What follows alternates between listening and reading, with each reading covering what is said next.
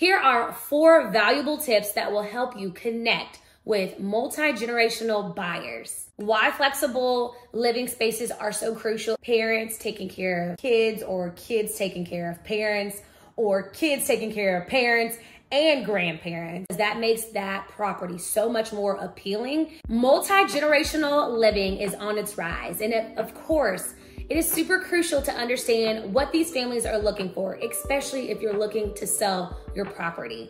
Of course, if you're new here, I am Keyra Ford. I'm your real estate cheerleader. My channel talks about taking ownership of where you live and how you live and how you can invest in yourself through real estate. Here are four valuable tips that will help you connect with multi-generational buyers. Step one is creating flexible living space. So when you are having multiple generational families living in one house, having different areas that feel like living space is crucial and key for them. They look for homes that have multiple bedrooms, in-law suite, or even like finished out basements. But I will tell you this, we don't have basements in Dallas, Texas, so or in Texas in general, just because we have clay soil and that clay soil expands and contracts significantly. So basements would not do good here. Why flexible living spaces are so crucial is because of course, it's living space. When you have multiple families in one area,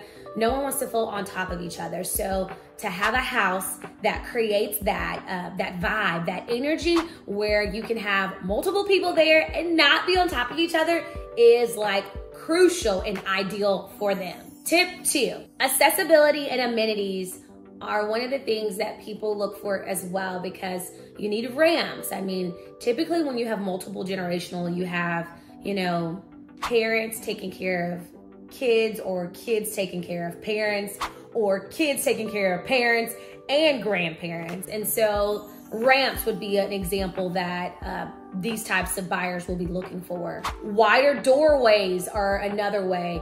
Light switches to be a little bit lower. Stepless showers. They also really, really love big backyards or areas where they can just get out of the house because typically if it is multiple generations. And like I said, the example of, you know, kids taking care of their parents and their grandparents is best for people to be able to go outside, be inside, but not feel like, once again, they are on top of each other. Backyard retreats or roomy decks are ideal because that's a way where they can actually like spend quality time and family time outside of the house, but not too far from the house. Before jumping into the last two tips, of course, I'm curious, do you think that, you know, multiple generational living will continue to rise in Texas?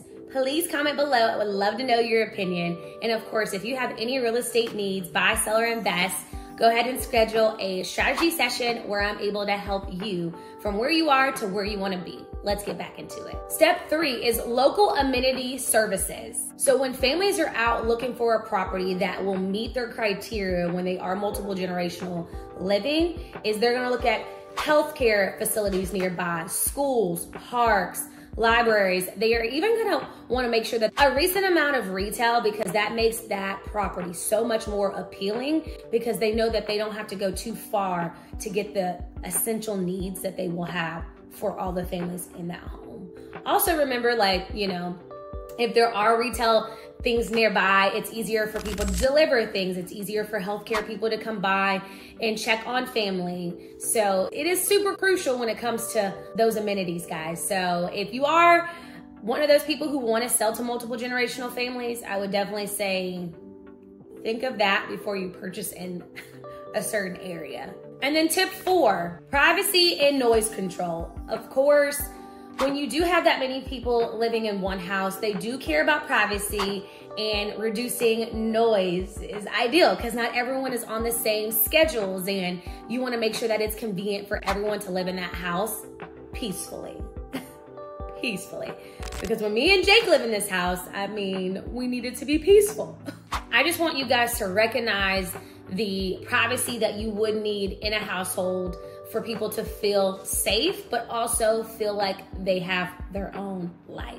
Showcasing features as in like there is different entrances to be able to get into the property, soundproof, multiple story layouts, to address everyone's needs at their will. In our next video, we will talk about estate planning and why it's super important to have an estate plan when you have more than one property. And since we talked about family opportunity mortgage and then now we're talking about multiple generational living which you know sometimes you have one or two or three or maybe even 10 of those homes. You want to make sure that you do have an estate plan that works well with that. I trust that this video has brought you value. If you have any questions moving forward or would like to jump on a free 15 minute strategy session, make sure you sign up so I can once again help you from where you are to where you want to be. Oh my gosh, there she is. It's Keyra Ford.